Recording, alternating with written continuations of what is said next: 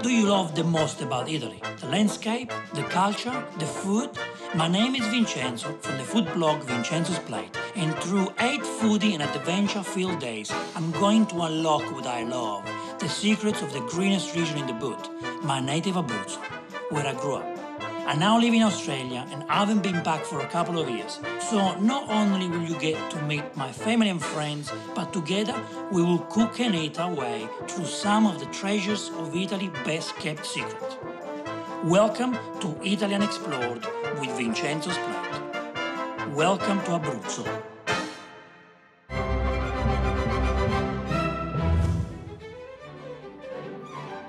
As Abruzzo continues to amaze us, we journey a little further inland to the medieval town of Santo Stefano. Well, you can go a different way, but I want to get the difficult way.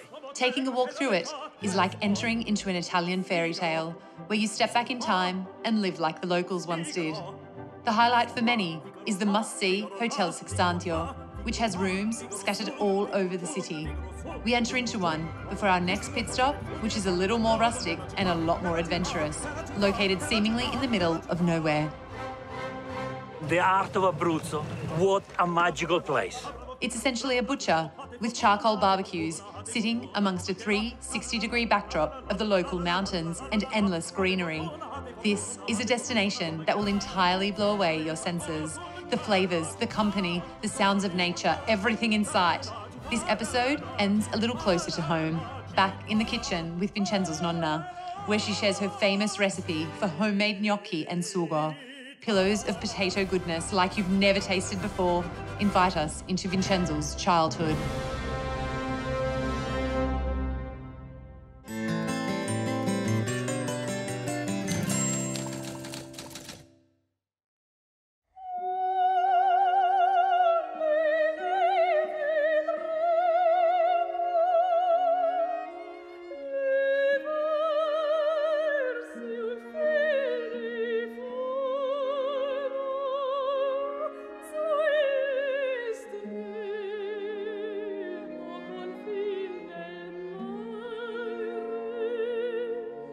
Today's destination breathes life into the notion that authentic Italian villages no longer remain.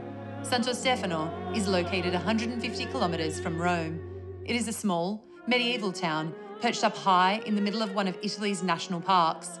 Its beauty lies in the way it is structured, filled with old buildings and cobblestone paths. And until recent years, it was described as a ghost town with only 70 inhabitants. Today we are in this beautiful town called Santo Stefano di Sessanio, classified as uh, one of the top 10 most beautiful borghi d'Italia, which means villages of Italy. A medieval town that um, has been untouched since the early ages. And um, what can we say about this place, uh, my darling? Well, after World War II, uh, a lot of the people that lived in the town emigrated. And so basically nothing needed to be restored. It's been left practically untouched, you could say. Yeah, yeah, only a couple of things have been uh, done, like a couple of uh, agriturismo, but uh, the whole town is really untouched. And these days, um, thanks to an investor, the town has been um, kind of fixed. It's full of bed and breakfast, hotels, and the few locals that lived here, they uh, created souvenir stores and small shops, and they are proud to share their passion and their culture with you, with the world. And of course, one of the things that's produced quite a lot from the land here is very, very, very tiny lentils. So this is this is a piece of the dried plant, and they basically it's very manual, but basically to get some of the lentils out. That's what you uh, do. that's what you do. Yeah, that's what you do. well, it's Just not very easy. It sounds easy, No, it's but very it's not. manual. It's a long process, but um, you have to discover. You come here, and then the people will explain to you how the lentil grows. The lentil here is famous for a reason. It's famous because they're very, very high in In high in iron, and they're really, really tiny, so you can't actually find them. I don't think in really anywhere else in the world. No. The way they cook lentil here is very, very simple. Lentil, extra virgin olive oil, the, the red garlic from Sulmona, which is very famous, and the bay leaf, nothing else.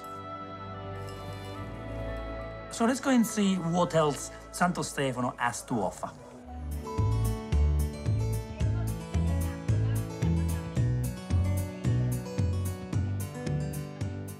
Behind this tiny, tight wall, I don't know if I can fit, there is the center of this town. Let's go and visit it. Well, you can go a different way, but I'm gonna get the difficult way. Yeah.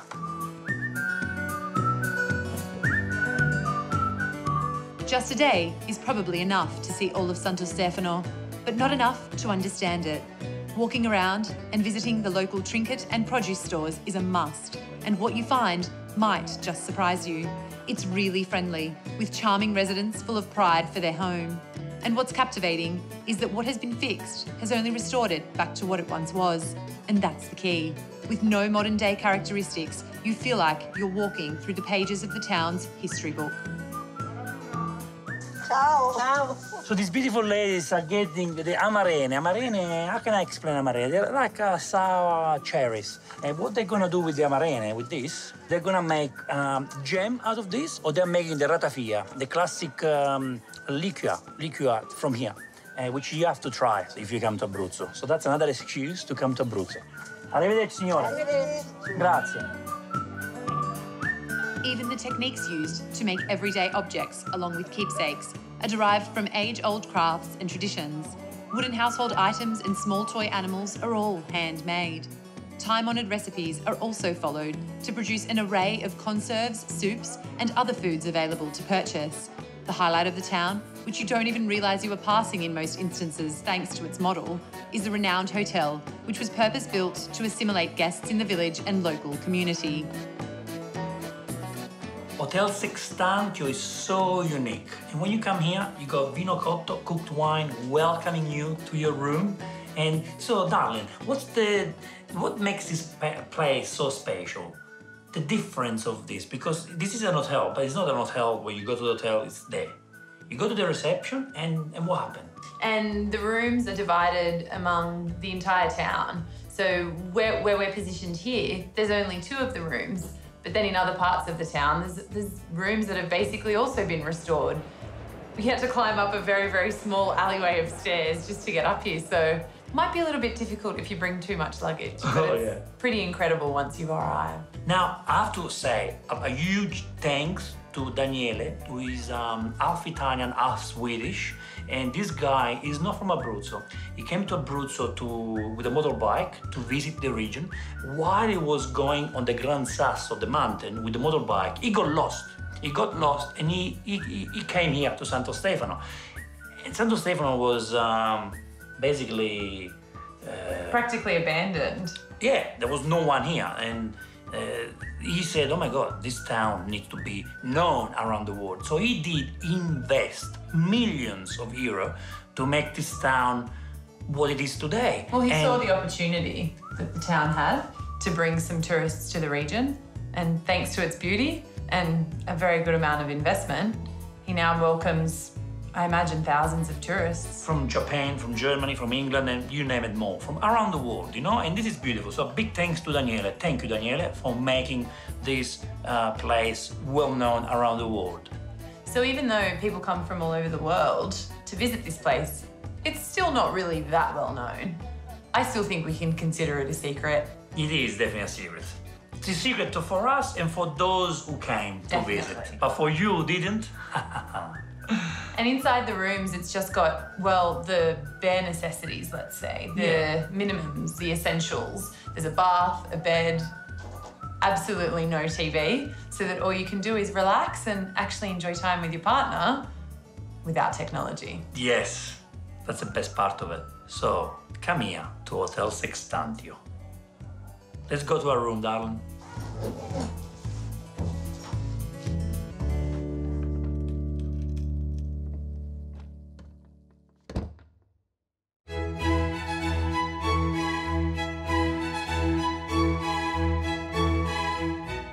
Welcome to the Cantinone, which is the medieval canteen. And I believe uh, Lancelot maybe used to come here to drink some beer and meet some women. You know, used to love women. Let's go and see.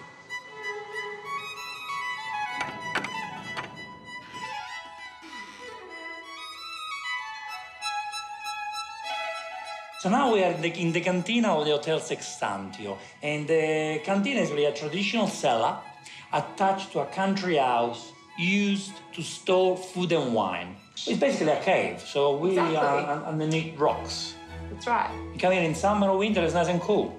Imagine the prosciutto and the salami kept here in the winter time. How good would that be? Well, exactly. Well, a long time ago, every, people used to store all of their food here so that in the winter time, when it was really, really cold, they didn't have to go out and make or produce any of their food because it was stored really well here. It's like a giant fridge. Well, I would say cheers to this. Cheers.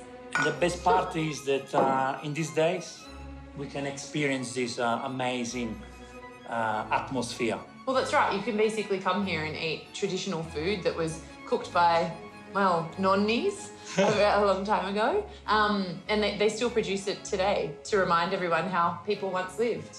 And what about this uh, beautiful uh, stone fireplace? Yeah, it's really beautiful. All of these little holes that you can see here were where they used to keep the food really warm because all of the heat from the flames would obviously go up towards the holes and keep the food. Great, just like if you would, I don't know, keep something maybe warm in a hot oven that you turned on. Mm, how delicious is that? So basically, coming in this room, you just smell amazing food all the time, huh? And you're getting hungry now, aren't you? I am getting hungry now, so let's go and eat something. Let's go to Fonte Vetica, to Ristoro Mucciante.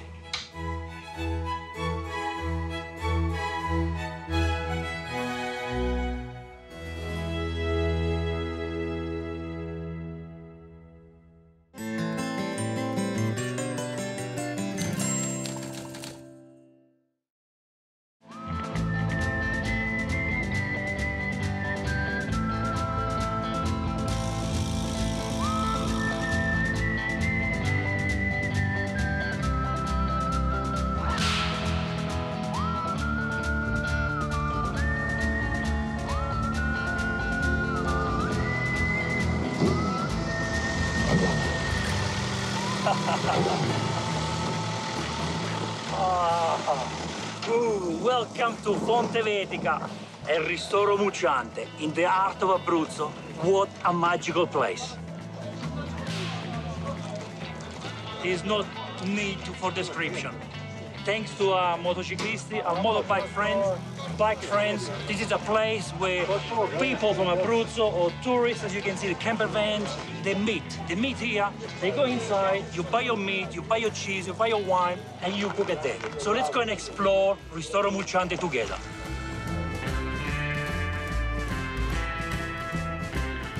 In the late 70s, this structure stood as a humble shed, and a high fly movie production crew came across it and used it as a saloon for a Western film. Its location was ideal in so many senses, and soon after, other film crews swarmed in and followed suit. Today, it's mostly frequented by cyclists, groups of motorbike riders, and campers, providing them with the tastiest pit stop they could ever stumble across. So now, when you come to Ristoro Mucciante, you got this uh, beautiful gentleman. They've been doing this since they were little. The meat is basically uh, meat that grows here. And we order some sausages. Then he's gonna cut them in half so it's easier to, to grill them. And we're gonna get some arrosticini, some cheese and wine, because the arrosticini and the sausages are from here. That's what they're proud of. Can you tell these two guys are twins? Sono gemelli, ma voi che siete gemelli? Vuoi farmi una domanda? Ma chi la fa la carne migliore? Lui. Ah, lui? Decisamente io. Ah, sei modesto allora, bravo. Allora, un applauso al gemello. Let's go and cook them. After selecting your meat inside, you can use one of the many charcoal barbecues and grill up a feast. Eh, insomma, papà, che stiamo facendo oggi? Salsiccia arrosto e carne di Rodolfo. Dice, homemade sausages from here. Look at this location. Look where we are. Cooking with dad. We have a friend from Belgium. Say hello. From Belgium, Hello. in Abruzzo. Bonjour. Peu bonjour, Émilie. Bonjour, bonjour. And come here, come here. And here we have uh, the rosticini grill, sì, rosticini grill zio, zio Fausto e zio. Allora, le rosticini le hai fatti tu? Sì, fatti a mano. Da Rodolfo. Da Rodolfo. Ah. and here we are having a good time with uh, Zio's friend in this beautiful location. So what more do you want? Venite in Abruzzo A mangiare lo a mangiare rosticini. Giro still.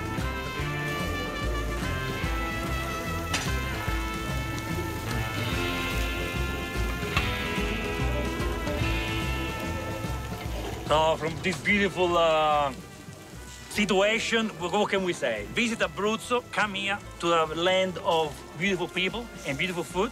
So thank you, we'll see you very soon. E ora si mangia Vincenzo Plate!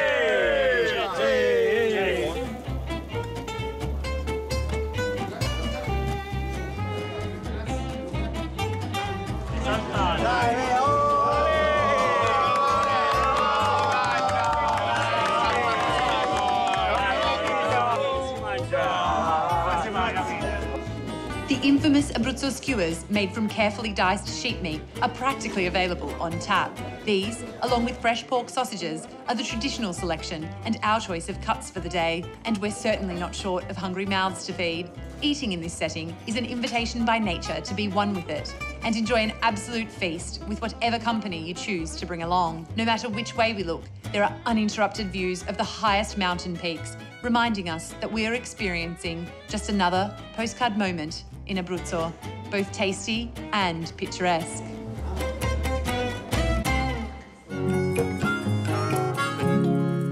Hi and welcome to Vincenzo's flight. Bravissima. She's got the English accent. Well done. Today we are making gnocchi, nonna's gnocchi.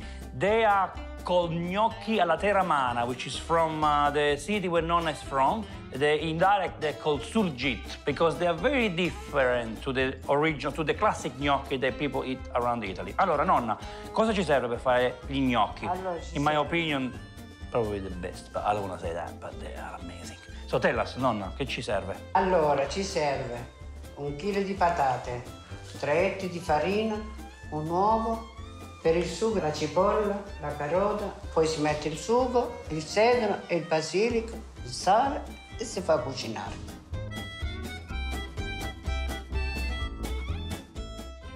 So now Nonna is checking if the potatoes are ready. She's stirring them and checking them with the hands, but you can use a fork to check. And uh, when they're ready, you don't want them to be too soft, otherwise they, they become mushy. Let's wait a couple of minutes and then we're ready to start making gnocchi. Now it's time to make the tomato sauce for the gnocchi. Put a nice amount of extra virgin olive oil. Nonna use uh, homemade extra virgin olive oil. You can see it's nice and beautiful and dark. Then you make the extra virgin olive oil nice and warm. And then you put the carrots and the, and the onion. It's one carrot cut into pieces, and uh, the onion, it's also cut into pieces. You don't need much onion, maybe about a quarter or even less than that. But when the potatoes are ready, you shred them out, and then you put straight in the pasta patate. And again, you break them. Okay. And you do this. And the patate breaks.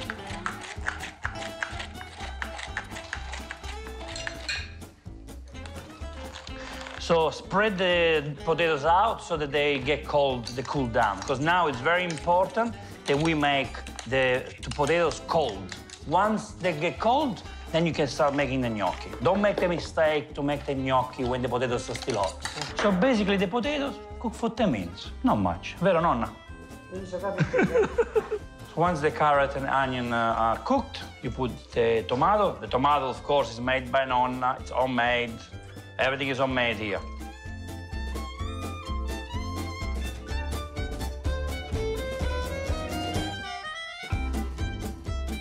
And then you put the celery and the basil inside because that's what that gives the flavor to the tomato sauce. The celery stick, you remove it when the sauce is ready. And then you put a nice big amount of uh, sale grosso, which is Sale sea salt, rock salt. Si deve regolare. The smell in this kitchen is, uh, is Nonna's kitchen, which is, uh, you can only smell it here. I will never be able to make this in Australia because it's, it's Nonna. we are making all of this, and we have a supervisor here. A supervisor who, who is 96 years old. And you know what that means? That we have to make this perfectly. Otherwise, she will get upset. Piacere. So now we make a hole in the middle of the potatoes because the potatoes are nice and cold. You put an egg inside. Make sure you wash your hands after you touch the egg, and then you start making the dough. So the, the well is made. Inside the well, you beat the egg uh, very well. You start mixing it. I love the way Nonna does it. Look how beautiful it is. Look how beautiful the hands are. Look. Then you put the farina inside. You put the flour. The flour we are using is just uh, a plain flour. A good quality one, of course. Massage the dough as much as possible and have fun. Now, keep some flour next to you. See, Nonna is using a little bit of extra flour uh, because if you feel like the flour is too soft, you want to add a little bit. Not too much, just see as you go. The flour is good because the flour actually clean your hands, and um, it's the easiest way to keep your hands clean, and it will help rolling the dough. So you basically want to use the top part of your fingers to massage and press hard, but not too hard. Look at this, look at this. That's what you want to get. Look, it's like a, oh, you can play with it.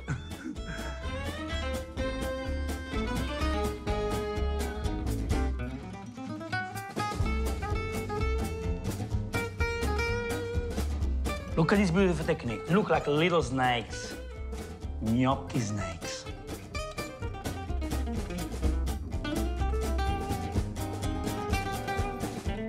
So the way Nonna makes the gnocchi, as you can see, is a diagonal cut. And uh, they don't look like normal gnocchi. Like I said, it, they're called surgit. Look how quick.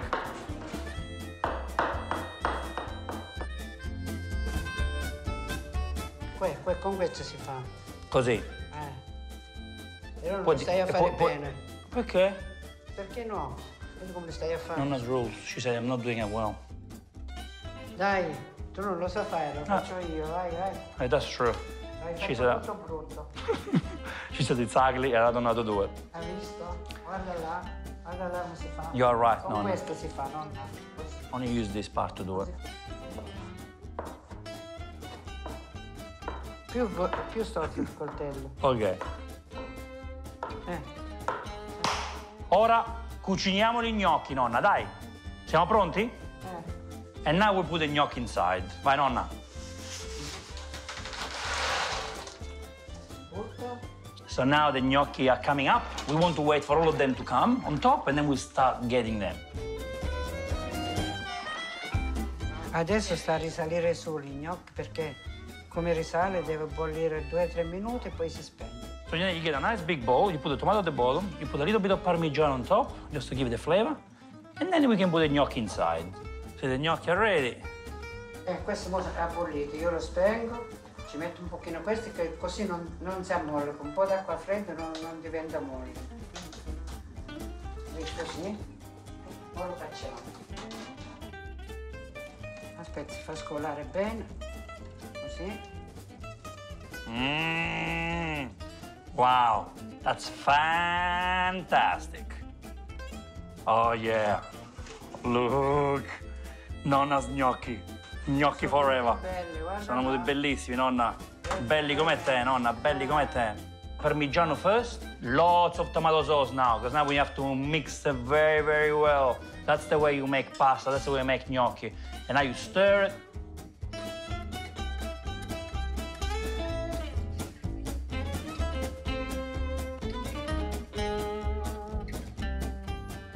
Well, now it's time for us to enjoy the gnocchi alla teramana, risurgit, with tomato sauce. So thank you so much for watching this uh, show. Nonna, c'è qualcosa che vuoi dire ai nostri amici? Eh, venite in Abruzzo che vi cucino io.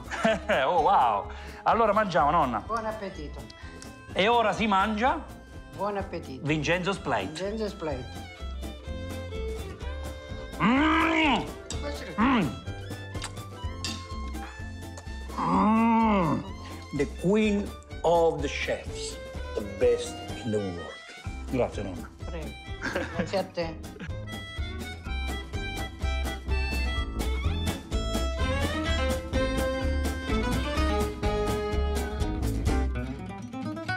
Today, welcome to Santo Stefano Di Sesagna. Sessagno. I am welcome to. Vincenzo's Plate. brava nonna, brava. Today we are making gnon. Uh, what food? Uh,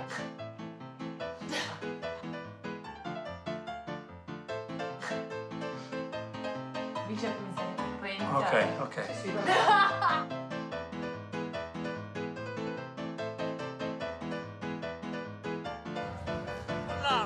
Preciso, ti sei da, bene.